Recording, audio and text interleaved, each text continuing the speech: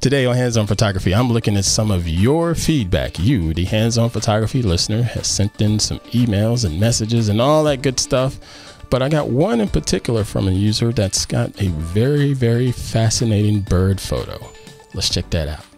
This is Twit. This episode of Hands On Photography is brought to you by Hover. Whether you're a developer, photographer, or small business, Hover has something for you to expand your projects and get the visibility you want. Go to hover.com slash twit to get 10% off your first purchase of any domain extension for the entire first year.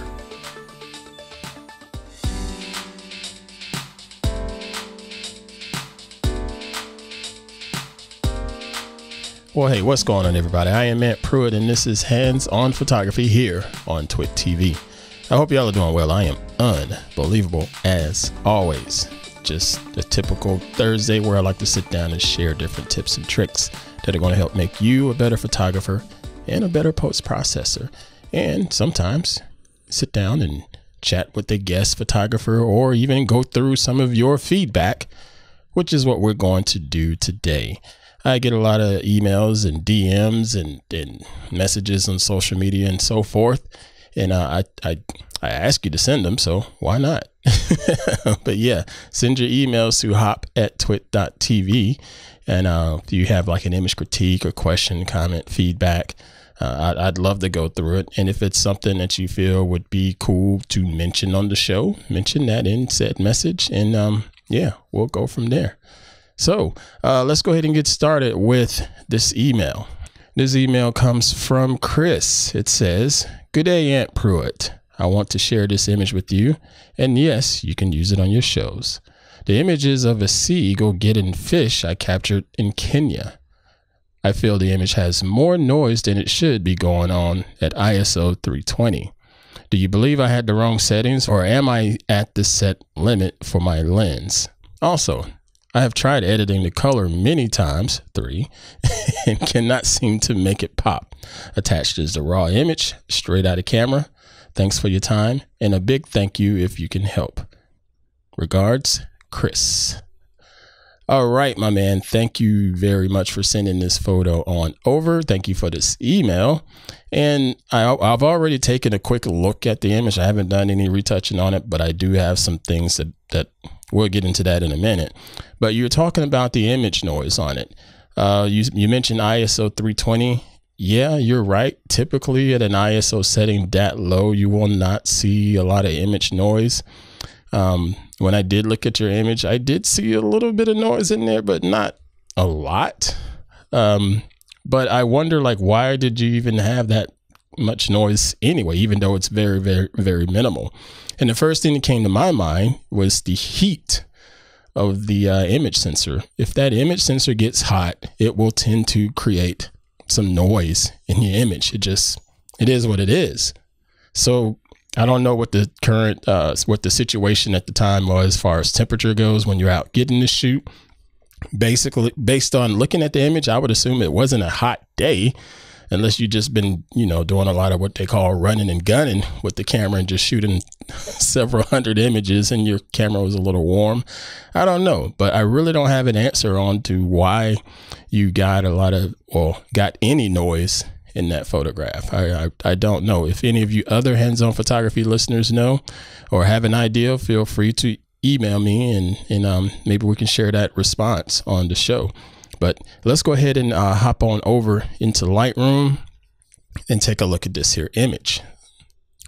All right, we are in the image and what we have here is this beautiful eagle just totally snatched this fish up out of the water. Dude, that's just crazy. So daggum cool. Great timing. Where to get this shot, man. Uh, it, the sharpness is, is fairly good. Uh, it, again, you, you talk about noise, and you, it may be hard to see this in your podcast player. It may be hard to see this on YouTube, but I do see a little bit there. You know, just just just a little bit. It's not anything terrible. So I'm I wouldn't worry too much about it. You know what I'm saying? So let me zoom out. But if we look at the settings for this shot, okay, you shot this at ISO 320 as mentioned in the email. Uh, shot this at a 267 millimeter focal length. So dang, that bird was that close. You only had to go 267. Wow, that's impressive. Uh, then f5.6 on the aperture and shot at one two thousandth of a second shutter speed. So you had a really fast shutter with a fairly low ISO. So again, this whole noise thing just is not making a lot of sense. I'm I'm not sure. Uh, I know this is a Canon camera of some sort. It didn't really specify when I tried to look at the metadata. Uh, I only this because it's a RAW file in a .cr2 format. That's Canon's RAW um, file format. Now, when I look back over here at this library and the metadata, it doesn't really say. It just gives your personal information, which we will blur out there. And um, yeah, I, I, I'm not sure why the noise is there, but let's go ahead and just dive into this image and, and just really make it pop. You were saying you were having some some issues trying to get the colors to stand out on it. And I get that, but some of it's not your fault. You know, you're in a scene that is pretty it's pretty monotone uh, or maybe dual tone. It's not that many colors out there. This looks like it was shot in a colder time of the year where there's not a lot of green going on or anything like that. But with the magic of post processing, you can bring some of this stuff out, especially if it's a raw file. So that's exactly what I'm going to do. But first, the very first thing I'm going to do with this image is take a look at the horizon line. So yes, I'm going to nitpick and straighten out this horizon line. Got to get that straight. All right. There, I got that out of the way. So let's play around with this image a little bit more. So the hero of the image is the bird snatching up this fish. So how can we really bring out the details in that? Let's go ahead and just get started with the base processing with, you know, checking out the exposure. Uh, this histogram says we got a really big spike right here in the mid midtones. So if we push this up, we want to give it a little more in the highlights here just to open it up a little bit more, not too much. Okay. Give it a little bit of contrast. And when we give it some contrast, it should, you know, separate the colors a little bit. So let's just give it a little, just a touch of contrast. Okay, and that's starting to look better already. The, the feathers are starting to look a little bit more more defined. Uh, that yellow is starting to stand a lot stand out a little bit more on the beak. Let's take a look at. Hmm, I'm gonna push the shadows up just a touch, just a little, not too much. But the next thing is the details of the of the bird. So let's go ahead and look at clarity and look at texture. And I'm inside of Lightroom right now. And yes, I know everybody doesn't have Lightroom, but most of these tools are available in pretty much whatever photo editor you, you're using. So there's that. But anyway, I'm going to push the clarity and texture up, which is going to try to sharpen it up a little bit. And when you use clarity inside of Lightroom, it tends to give a little bit more contrast. And as I push that up, I definitely got more contrast. So let's see if I turn this off. This is what the clarity looked like, you know, at default. But as I increase the clarity, see I'm getting more contrast in the bird's uh, face and is it its face? Yeah, the bird's face and its beak. And that shadow is starting to be a little bit more defined. So be mindful of that because sometimes cranking that clarity too much can give it too much contrast. You know, so you just got to find that balance. So right now we're, we're getting a lot more separation and detail of the bird showing here, as well as separating it, separating it from the, the background there. All right, now there's this dehaze option. Dehaze also gives you a little bit more contrast. So we're going to take the dehaze slider and increase it. And now you see it's really, really popping out. But again, we started adding more black levels here. You saw the histogram changed up here in the upper right, more black levels increased. And that's, you know, you got to sort of play around with the balance because I think there's too much there. So let's push the black level up like so, and maybe reduce the contrast just a little. There we go. All right, now this is saying we're clipping in the highlights allegedly. Don't see how. Let's push this exposure back just a touch. There we go. You have to just sort of do a bit of push and pull when it comes to dehaze and contrast. You don't want to do too much, but having some dehaze does make a big difference. So again, just looking at the general exposure settings of this, this is this is looking much better uh, versus you know the original raw file. So if I do a before and after, this is the before, and this is the after. It really starts to pop and stand out a little bit more. But we can do more to this. Let's play around with like the um, HSL of this, the hue saturation, uh, the different colors of this particular image. So I'm going to scroll down here to this section that says hue, saturation, and luminance or HSL. And I'm going to target this orangey color here, you know. So if I go to the saturation, if I pull this, the, the orange back for this particular hue, you see it sort of takes it away. But I want to just bump it up just a touch, not too much. I don't want to overdo it. Okay. And then if you want to, you can grab this little slider button here. Just click on that. And then when you hover it over a particular area of the image, it'll automatically work on the sliders for you based on the particular hue. So I'm just going to drag up and down like so. And that gives me a little more life in those wings, just a little bit. You see it targeted the red and it also targeted the orange a little bit more. Okay, so we got a we got some life in this bird here. This episode of Hands On Photography is brought to you by Hover. It's time to make plans and let Hover help you achieve them. If you're a blogger, creating a portfolio or building an online store, or you're just trying to get a more memorable redirect from your LinkedIn page, Hover has the best domain names and email addresses just for you. Email at your domain name is key to connecting with customers and building trust for your brand. Please, please stop using your name at yahoo.com or your name at gmail.com. You're better than that. You need to get signed up with Hover. Hover has domain based emails, all for your needs, small or large. And they're really easy to set up. You can add as many mailboxes to your domain as you need. Uh, when your domain renews, your mailboxes are going to renew too. Plus, they're very, very inexpensive. The prices are unbeatable. Their most popular mailbox option out there is a no brainer solution for business owners. You can get access to your email anywhere. So if you're used to using a specific email app, you know, go ahead and use that to access your email. But if you're not much of an app person, then you can just log into webmail and access your email. Hover makes this really easy for you. It's so easy to log in and try to find yourself a brand new domain that fits your brand. And then the, the, the interface is super clean and just, just allows you to fly through it. And then when it's time to get everything set up, their customer service is right there to help you out. I really do love this process with them.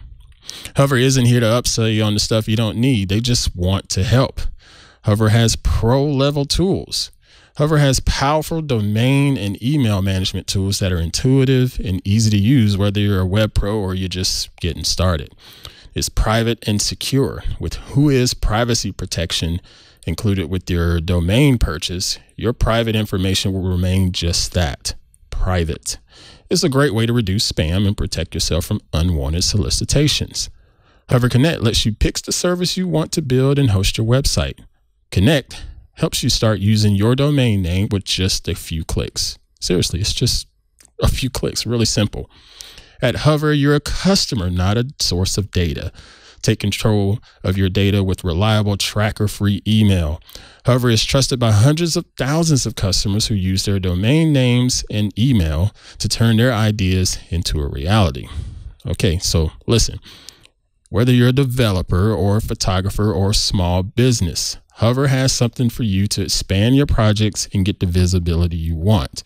Head on over to hover.com slash twit to get 10% off your first purchase of any domain extension for the entire first year. That's hover.com slash twit for 10% off your domain extension for a full year. And we thank Hover for their support of Hands on Photography and all of our other shows here at TWiT. But what about the rest of the scene?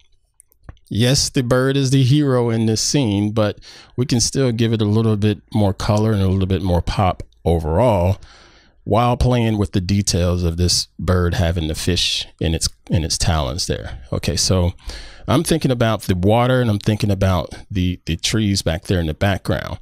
When I think about the water and this just this this environment out there sort of looking chilly and cold, why not have that water look a little bit cooler? So let's just change the color temperature, if you will, of the water and make it a little bit cooler. So I'm going to go all the way up here to the top where we have all of our selective adjustments with the brush and masking options inside of Lightroom. You can do this in most editors. Just find some type of selective adjustment brush. All right. And I'm just going to click one time here like so. I'm to give it a nice bit of feathering Let's push the flow up a little bit more, give it 100% opacity. And I'm just going to brush along the water like so. And you'll see this is giving me a red mask on the screen. That's saying, okay, wherever you're brushing, this is the stuff that we're going to target in your processing. So if I want, I can even go over the bird just a little bit like that. I even went over the horizon line just a touch, and that's okay. Because what I can do now is erase the excess by holding down the Alt or Option key and just brushing away the excess because I don't want this to affect the bird. Okay. And I don't want it to affect the trees back there in the horizon. So let's just brush it all away like so. And this is way easier if you had a Wacom tablet. I'm using a mouse right now and I am not enjoying it. I'm so used to using my tablet. Okay, and clean up on this bird just a little bit more. Just shrink the brush down. And remember, you can always zoom in to make it easier on yourself. So I'm just going to zoom in like so. And I want to brush away all of this adjustment on top of the bird. There we go. And something like this is a lot easier with some AI tools like what's inside of Photoshop. You can do a selection, select the object, and then do your color correction all around it that way. But it's all good. We got this now. There we go. So now let's zoom out. Okay, so now we got the water taken care of. So I'm going to turn this mask off and I'm going to start dialing back the color temperature of this water. So I'm just going to select right here in the white balance section and just take the temperature and go more towards the cooler side and let's watch what happens.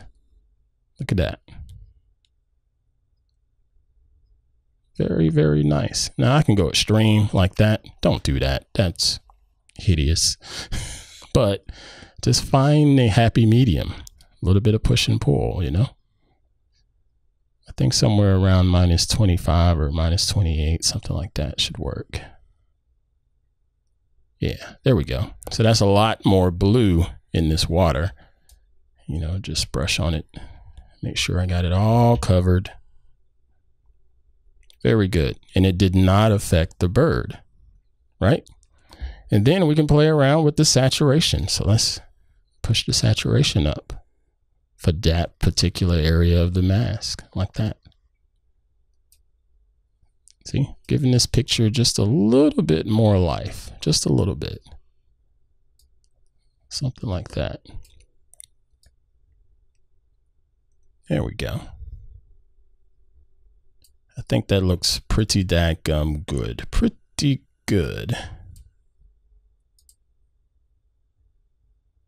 Okay. Yeah, I dig that. All right, so I'm going to turn the mask off now. Actually, no, let's do one more little adjustment brush. So I'm going to click create a mask again, like so. And I'm going to select the brush. And this time I'm going to brush on top of the bird, like so Because what I want to do is give this bird even more detail. Like that. Okay, so I'm to turn this mask off. Let's zoom in a little bit. And I'm going to take the clarity and push that clarity up a little, just a little, and push that texture up just a little. There we go. So now that gives the bird even more details right there in our image. This is good, in my opinion. All right, so now let's do a bit of a vignette on here. All right, so we'll go high priority and dial it back like that. There we go. Actually, I don't even want to do a vignette here. Matter of fact, I want to crop this because I mean, that bird is just awesome. So let's crop this down like so.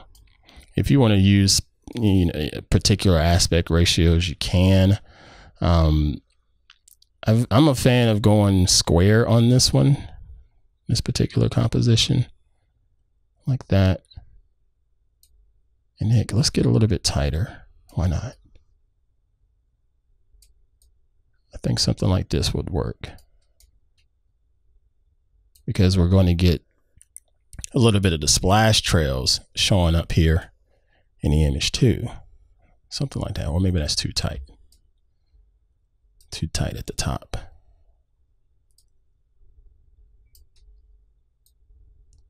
A little bit bigger, a little bit bigger. There we go. Yeah, I dig that because we get this whole trail, you know, we get this implied motion, you know. Whoops, I hit the wrong button. Sorry about that. We get this implied motion, you know, with the splash trails going and it's going from left to right people love that in images, especially in bird photography. Oh, this is that's just great. And again, if you want to do a little bit more vignette on it, you can. But heck, now I'm thinking about it, let me do one more magic brush here. And instead of selecting the brush, I'm going to select the um, radial tool. So radial gradient tool. So I'm going to grab that and I'm just going to create a little little circle around the bird like that. Let's rotate it a touch. Something like that should work, right? Stretch it out some. Okie dokie. Give it some feathering so it's a gradual effect, like so. There we go. Something like that. And now with this gradient, I'm going to um, flip it around. So let's invert it. So we can click this invert option in the upper right. And then I'm gonna turn off this overlay. And then we can just drop the exposure. Something like this. So now the bird is a little bit more of the focus. We can do it either that way or just turn the inversion off and just brighten up the bird like that. Yeah, that's actually better. Yeah, that's better. So now I can just adjust this to where it doesn't look too weird and too processed. Or it looks a little bit more natural. There we go.